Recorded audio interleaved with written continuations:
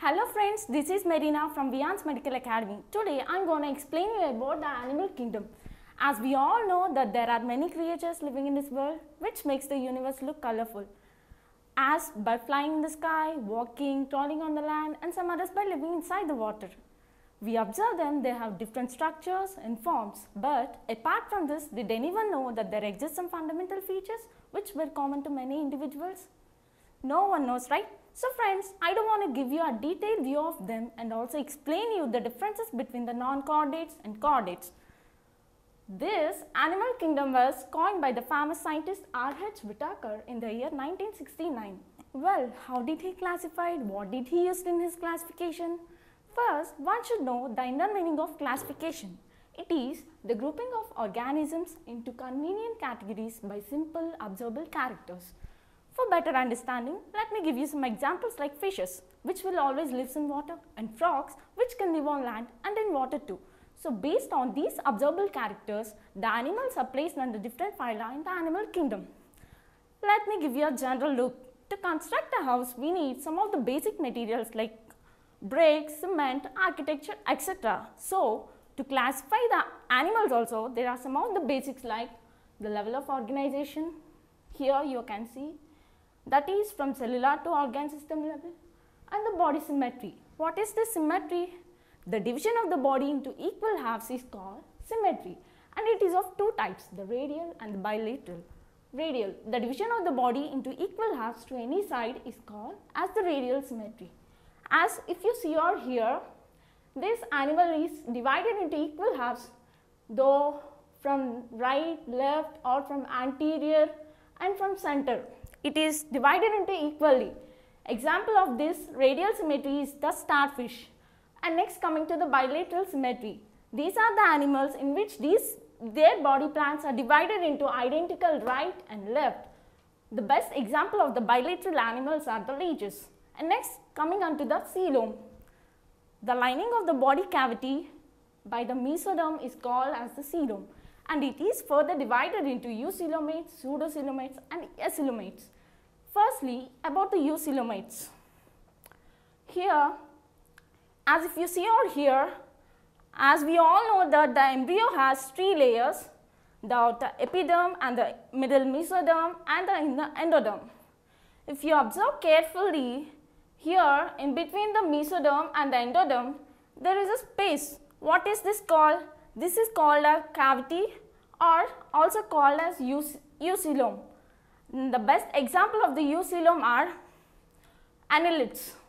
And next coming to the pseudocoelom. Here all I wrote, I had, I had sketched here.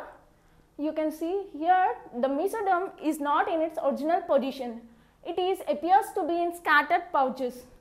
So the examples of the pseudocoelomates are the Aschelminthes. And next coming to the acoelomates. Here if you observe carefully, there is no space in between the mesoderm and the inner endoderm. So that's why these are called the acoelom. Here A represents the absence of the coelom. The best example of the acoelomates are the platyhelminthes. And next coming to the circulation, it is of two types, open type and the closed type. Here in the open type, the blood is pumped directly into the cells and the tissues. This can be seen in the animals like arthropods and in the closed type. Here the blood can be carried through the transporters like veins, capillaries, arteries.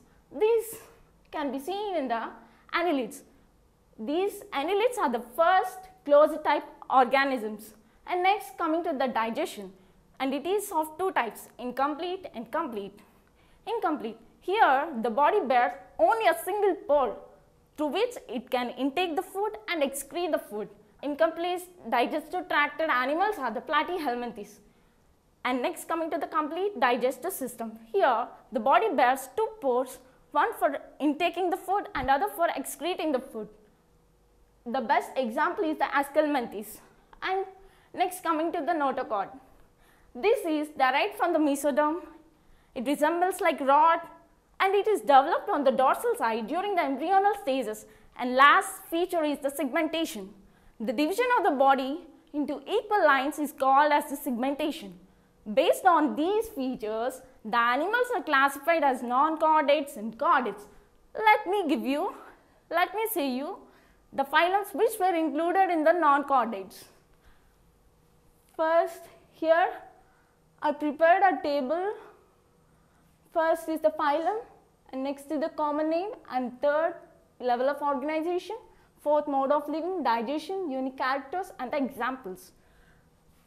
If we see in the if we see in the non-chordates, Porifera is the first phylum and its common name is the sponges and it exhibit the cellular level of organization, its mode of living, they generally live in marine and its, and its mode of digestion is intra and its unique character is the water canal system which helps them in food gathering and respiratory exchange and the removal of wastes.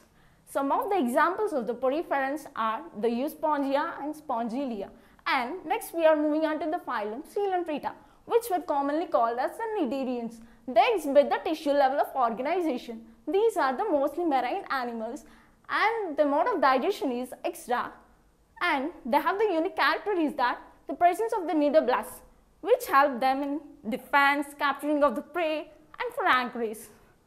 And next we'll move on to the phylum Ctenophores. These are co commonly called as sea walnuts and their level of organization is tissue level and these are exclusively marine animals. These are exclusively marine animals which were not found in the fresh water and the digestion is extra and they have the unique character is the property of emitting light which is termed as the bioluminescence. Examples of the ctenophores are the ctenoplana and pleurobrachia. Now we had we have learned about some phylums which were included in the non-chordates and now we will move on to the phylum chordata which is further divided into classes like amphibia, aves and mammals, mammalia. In amphibia, these are the animals which exhibiting the dual mode of life. That means they can live on land and in water. The characteristic features of these amphibians are they have the eyelids, and they have the skin will be moist and and the common examples of the amphibians are the rana tigrina which is called as frog and the salamandra which is called as the salamander and next we'll move on to the aves which we call is which we call as the birds and these are they respire to the lungs the pulmonary respiration and their forelimbs are modified into the wings which help them in flying and they have the beaks which help them in taking the food. And here are the examples of the aves, the pavo. The common name of the pavo is the peacock which is considered as the national bird of India and the corvus which is commonly known as the crow. And next, next lastly the class is the mammalia. These have the special character is the presence of the mammary gland by which they can nourish the young ones and these also have two pairs of limbs which help them in for climbing, walking, burrowing, etc. And the examples of these mammalians are the felis which are commonly called as cats and the canis which were called commonly called as dogs. Okay, as I have said you earlier that I will differentiate between the non-chordates and chordates. So, now we will want to hear non-chordates has if you see or hear here in the noto, here in the non-chordates the notochord will be absent as in the chordates it will be present. If you see in the non, non-chordates the heart will be dorsal and in the chordates the heart will be ventral. Here dorsal means back side and ventral means front side.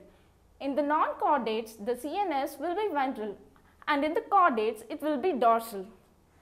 And lastly I want to say your statement that all chordates are not vertebrates but all vertebrates are chordates.